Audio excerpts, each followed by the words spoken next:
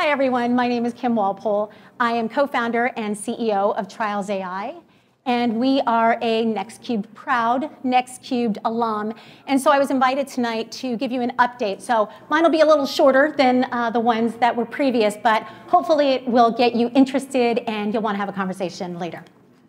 So Trials AI, we are on a mission to get effective treatments to patients faster by optimizing clinical trial protocols for speed and success. Now, when most of us think about you know, clinical trials, we think, well, they failed because of an ineffective treatment. Well, that's true.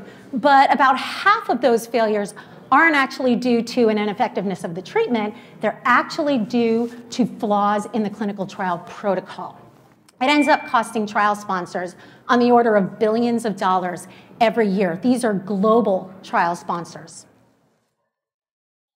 So we optimize clinical trial protocols by mining massive amounts of clinical trial related data sources so that we can give feedback and recommendations to researchers. The goal here is intelligent trial design. So researchers log into our SaaS platform. They use the system to search for answers to really difficult questions like how should they recruit or what should inclusion exclusion criteria look like in their trial. And then they also are looking for recommendations so that they can make better decisions around generating their protocol. And then we really are building a smart protocol system so that you can develop your protocol from the ground up using our smart technology. So one of our core values is that we get it done. And as part of that, yeah, I know. uh, so part of that is, um, number one, I get pretty excited about four things that we've been focusing on over the last year. One is we went to market, we tested our hypothesis, and we sold and garnered ARR by selling our end to end clinical trial platform, primarily to some of the smaller guys. And then we went upstream to try and sell to Big Pharma, and they were like, this is great, but we're really, really interested in the protocol optimization. That's where it's at. There's greenfield here.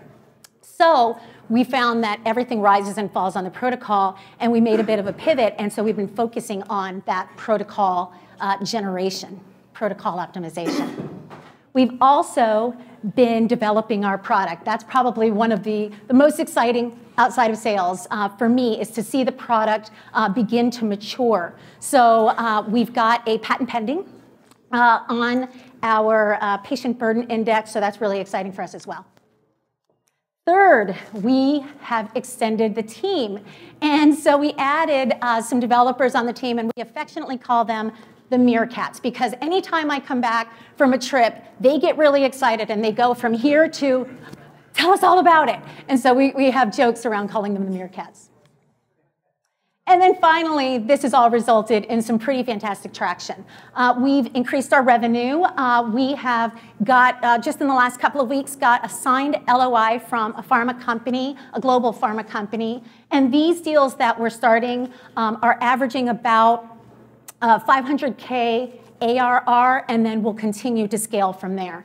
Uh, we also have a CRO proposal uh, out and that one is, I think it's about 610, uh, 50, 650,000 uh, annual recurring as well. And then we've also are working uh, with two big pharma companies on POCs, and these are paid. Uh, when I talked to them, I said, look, it's all well and good that you want to check the new technology out, but we actually are a company that wants to grow and scale, so you're going to have to pay for that. And they said, okay. Uh, and then we have success metrics that are built into that. And so part of that is, hey, if this thing works the way that we said that it works, um, then you're going to commit to actually growing and scaling with us. And they said, you know, that's going to be a big win. We're going to save them on the order of millions of dollars. I've got a fantastic team, all with startup experience. I smile when I see these guys. Um, my background, actually, I worked for Big Pharma for 12 years on, on the consulting side. Um, Our chief scientist, Dr. David Fogel, is an award winning scientist, AI pioneer. He's built AI technologies for the FDA and Big Pharma.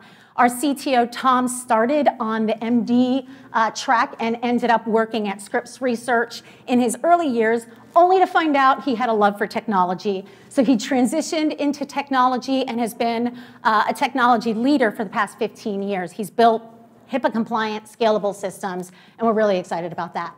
And then finally, our other co-founder, uh, Mike Nicoletti, has a background in technology strategy implementation. And frankly, he's our numbers guy. So I always go to Mike when I want to talk numbers. And he says yes or no. And then I, you know, I, I push him there. Alrighty, so we have raised, we currently have a round open uh, on a convertible note for $1.5 million. We've got 350,000 left on that note, so don't all rush to the front to get in. Um, what that's going to do is get us through these POCs that we've got going with Big Pharma, and that'll allow us to hire BD and sales folks. Uh, we are projecting about 2.5 million by the end of the year. And just for context there, that's probably about uh, anywhere from one to five of our customers closing.